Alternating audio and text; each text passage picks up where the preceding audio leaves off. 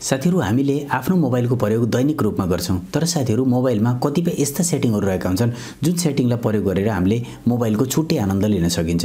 र हामीले लगातार ती सेटिङहरूलाई आफ्नो मोबाइलमा हेरिरहे तापनि ती सेटिङहरूलाई हामीले प्रयोग गरिरहेका हुँदैनौँ। तर आज तपाईँलाई मैले यो भिडियो अन्तर्गत रहेर यी सम्पूर्ण सेटिङ बताउनेवाला छु जुन सेटिङलाई प्रयोग गरेर तपाईँले आफ्नो मोबाइलमा आफ्नो मोबाइलको छुट्टै आनन्द लिन सक्नुहुन्छ।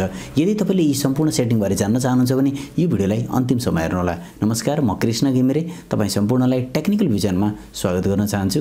ल साथीहरू टपिक सुरु गरौँ।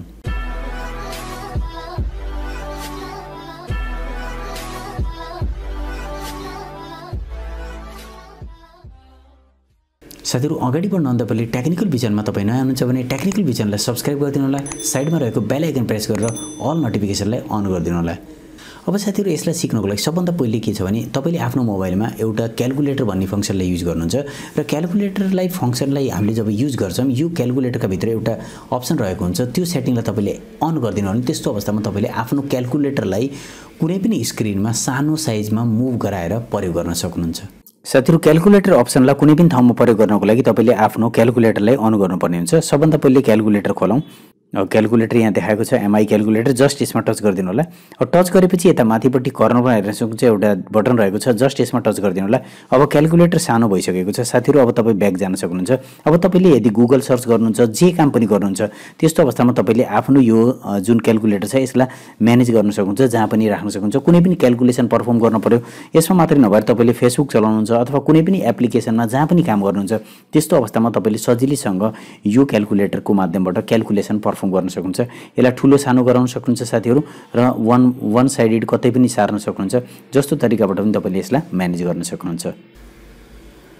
त्यस्तै साथीहरू दोस्रो सेटिङ जुन रहेको छ। त्यो एकदमै महत्त्वपूर्ण सेटिङ छ। यदि तपाईँले कुनै पनि बेलामा च्याटिङ गर्नुहुन्छ कसैलाई मेसेज पठाउनुहुन्छ अथवा केही पनि काम मोबाइलमा गर्नुहुन्छ भने त्यस्तो अवस्थामा तपाईँले टाइपिङलाई युज गर्नुहुन्छ किबोर्डलाई युज गर्नुहुन्छ।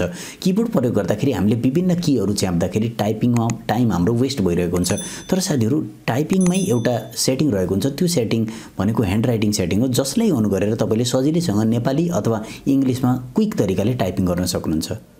अब साथीहरू यसलाई प्रयोग गर्नको लागि जस्तै मानुस् तपाईँले केही टाइपिङ गरेर कसैलाई पठाउन चाहनुहुन्छ भने त्यस्तो अवस्थामा तपाईँले आफ्नो किबोर्डमा गएर यतापट्टि रहेको जुन अप्सन रहेको हुन्छ जस्ट यतापट्टि हेर्न सक्नुहुन्छ यहाँ एउटा स्माइलीको अप्सन छ यतापट्टि सेटिङ भन्ने अप्सन रहेको यसमा जानु होला सेटिङमा गइसकेपछि तपाईँले ल्याङ्ग्वेज हेर्न सक्नुहुन्छ।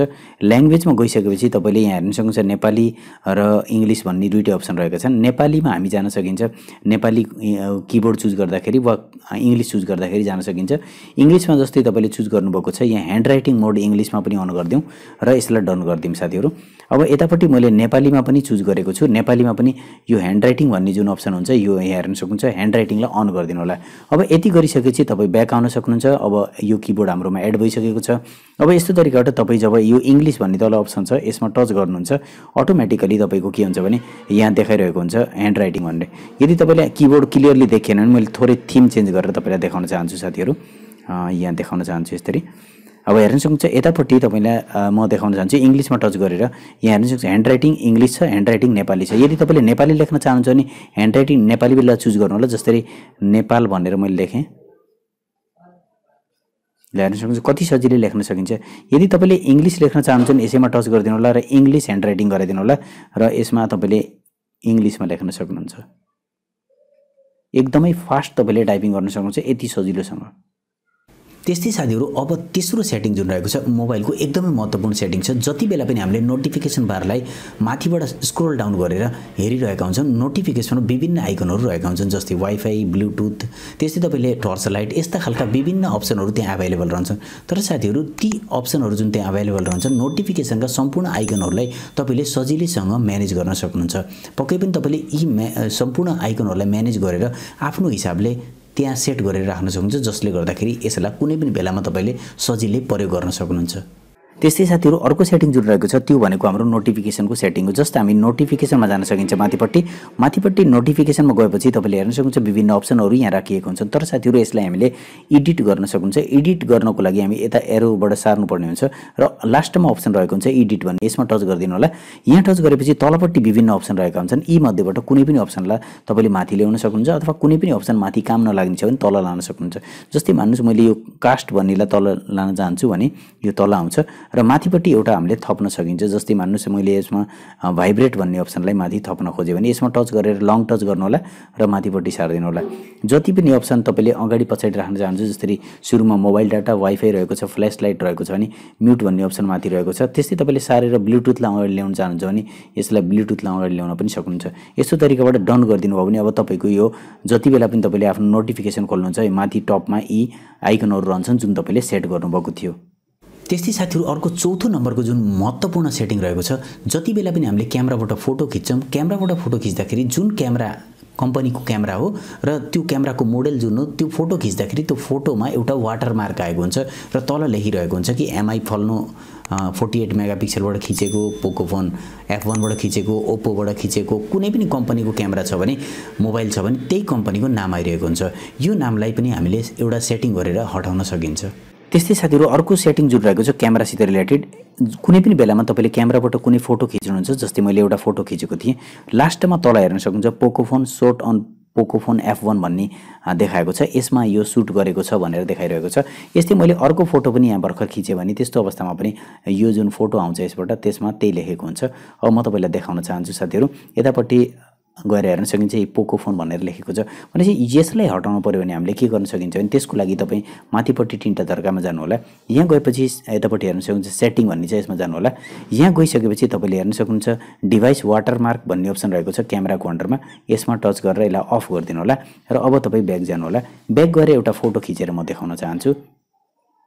अब हेर्नुहोस् यो फोटोमा कुनै पनि वाटरमार्क आएको छैन। यस्तो तरिकाबाट तपाईँले यसलाई कुनै पनि क्यामेराबाट वाटरमार्क हटाउन सक्नुहुन्छ। त्यस्तै साथीहरू अन्तिम पाँचौँ नम्बरको जुन सेटिङ रहेको छ यो सेटिङ पनि एकदमै विशेष छ। कहिलेकाहीँ हामीले आफ्नो स्क्रिन जब हामीले प्रयोग गरिरहेका हुन्छौँ हाम्रो हाम्रो स्क्रिनको जुन होम स्क्रिन हुन्छ त्यो होम स्क्रिनमा विभिन्न अप्सनहरू एभाइलेबल रहन्छन् जसले हामीले विडगेट भनेर बुझिन्छ। तर तपाईँले विडगेटका भित्रका सेटिङहरूलाई डाइरेक्टली आफ्नो होम स्क्रिनमा ल्याउन सक्नुहुन्छ। धेरै व्यक्तिहरूले यी जान यो प्रक्रिया जानेका हुँदैनन्। त्यसैले गर्दा साथीहरू यदि तपाईँले विडगेटलाई प्रयोग गर्नु भने तपाईँको मोबाइलको लुक नै चेन्ज हुनसक्छ त्यस्तै साथीहरू अन्तिम जुन सेटिङ रहेको छ त्यो भनेको विडगेट यदि तपाईँले आफ्नो मोबाइल प्रयोग गर्नुहुन्छ मोबाइललाई छुट्टै लुक दिन चाहनुहुन्छ त्यस्तो अवस्थामा विडगेटलाई प्रयोग गर्नुहुन्छ। विडगेट प्रयोग गर्नुको लागि तपाईँले के गर्नुपर्ने हुन्छ भने साथीहरू कुनै पनि स्क्रिनको एरियामा तपाईँले विडगेटलाई ल्याउन सक्नुहुन्छ। जस्तै मान्नुहोस् मैले एउटा यहाँ विडगेट ल्याएर देखाउन चाहन्छु तपाईँलाई। त्यसको लागि तपाईँले यहाँ टच गरिदिनु होला स्क्रिनमा लङ टच अनि यता हेर्न सक्नुहुन्छ तल विडगेट आएको छ। यसमा टच गरिदिनु होला। यहाँ टच गरेर कुनै पनि तपाईँले विडगेटलाई यहाँबाट आफ्नो होम स्क्रिनमा ल्याउन सक्नुहुन्छ जस्तै यहाँ विभिन्न राखिएका हुन्छन्। तपाईँले जसरी हाम्रो पात्रोमा डेट मिति देखाउने राख्न सक्नुहुन्छ अथवा तपाईँको आजको मिति मात्र देखाउने सो गर्ने मैले राखेर देखाएँ। यहाँ टच गर्नु होला अनि ड्र्याग गरेर यहाँ छोडिदिनु होला। यहाँ सक्छ पुस चौबिस भनेर लेखेको छ। यस्तो तरिकाबाट कुनै पनि भिडगेट तपाईँलाई लागेको छ तपाईँले राख्नुपर्ने जस्तो लाग्छ भने त्यो राख्न सक्नुहुन्छ हटाउन पनि सक्नुहुन्छ। जस्तै यसमा टच गरिदिनु होला ड्र्याग गरेर माथिपट्टि रिमुभ भन्ने अप्सन रहेको हुन्छ। माथिपट्टि हटाइदिनु होला यसलाई रिमुभ गरिदिनु होला। यस्तो तरिकाबाट रिमुभ गर्न सक्नुहुन्छ र कुनै पनि अप्सनलाई यसरी म्यानेज गर्न सक्नुहुन्छ। हेर्न सक्नुहुन्छ साथीहरू यी सम्पूर्ण सेटिङहरू तपाईँले आफ्नो मोबाइलमा गरेर सजिलैसँग यी सेटिङहरूको छुट्टै आनन्द लिन सक्नुहुन्छ। आशा गर्दछु साथीहरू यो भिडियो तपाईँलाई मन परेको छ र मलाई प्लिज यो बताइदिनु होला कि यी सम्पूर्ण सेटिङहरू मध्येबाट तपाईँले सबैभन्दा राम्रो सेटिङ के लाग्यो? कमेन्ट सेक्सनमा आफ्नो कमेन्ट राखिदिनु होला। आशा गर्दछु साथीहरू यो भिडियो मन परेको छ। यदि भिडियो मन पराउनु भएको छ भने प्लिज साथीहरू यो भिडियोलाई लाइक गरिदिनु होला। धेरैभन्दा धेरै साथीहरूलाई भिडियो सेयर गरिदिनु होला जसले गर्दाखेरि साथीहरूलाई पनि यसबारेमा थाहा हुनेछ। र यदि तपाईँको मनमा यो भिडियोसित सम्बन्धित कुनै पनि जिज्ञासा छ भने यो भिडियोका मुनि रहेको कमेन्ट सेक्सनमा आफ्नो कमेन्ट राखिदिनु होला। म त्यो कमेन्टको सक्दो जवाब दिने प्रयास गर्नेछु। र यदि तपाईँले मलाई पर्सनली केही कुरा सोध्न चाहनुहुन्छ भने technical B seventy one Instagram आइडीमा follow गर्नुहोला त्यहाँ सोधिएको प्रत्येक प्रश्नको उत्तर मैले इन्स्ट्यान्टली दिनेछु। आजको लागि यति राख्न चाहन्छु। छिट्टै नयाँ भिडियोमा भेट्नेछ धन्यवाद।